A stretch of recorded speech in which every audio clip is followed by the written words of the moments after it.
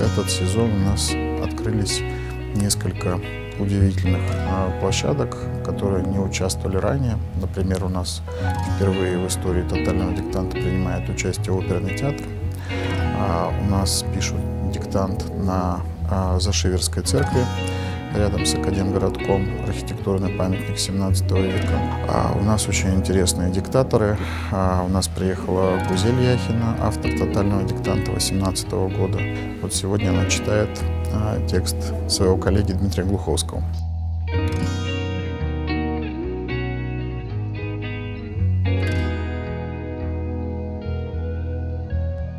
Действительно, акция стала всепланетарной. Это потребность людей писать грамотно и потребность людей просто быть ближе языку. То есть, с одной стороны, вот это желание приобщиться и стать частью этого большого, важного, нужного.